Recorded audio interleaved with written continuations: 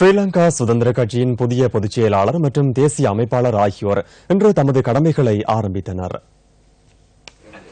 ஸ்ரீலங்கா சுதந்திர கட்சிக்கு தற்காலிகமாக நியமிக்கப்பட்டுள்ள புதிய அதிகாரிகள் சபைக்கு ஏற்ப பொதுச் செயலாளராக நியமிக்கப்பட்டுள்ள பேராசிரியர் லக்ஷ்மண் பிரியதாச இன்று கடமைகளை பொறுப்பேற்றார்.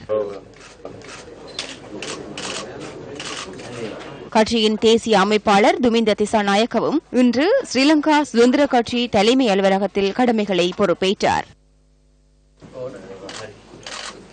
නිදහසෙන් පස්සේ ගෙවි ගිය කාලය අධ්‍යයනය කළොත් ලංකාවේ ஸ்ரீலங்கா சுதந்திர கட்சி மூலம் நாட்டில் அபிவிருத்திகள் இடம்பெற்றுள்ளன ஆகவே ஐக்கிய மக்கள் சுதந்திர கூட்டமைப்பின் அனைத்து உறுப்பினர்களும் ஒரு மேசையில் அமர்ந்து பிரச்சனைகளுக்கு தீர்வு காண முடியும் ஐக்கிய தேசிய கட்சி அரசாங்கத்திற்கு பதிலாக ஸ்ரீலங்கா சுதந்திர கட்சி தலைமையிலான கூட்டமைப்பு அரசாங்கத்தை உருவாக்குவதே எமது நோக்கமாகும் මේ අවශ්‍යතාවේ ඒ සඳහා අපි අ, පෙනී සිටිනවා.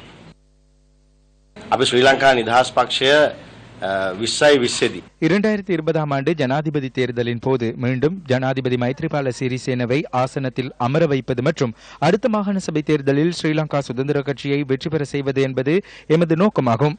ஆகவே கட்சியை மறுசீரமைக்கின்றோம். ஜனாதிபதி மைத்ரிபால சிறிசேன மிகவும் திறமையான முறையில் அனைவரையும் இணைத்துக் கொண்டு செயற்படுகின்றார்.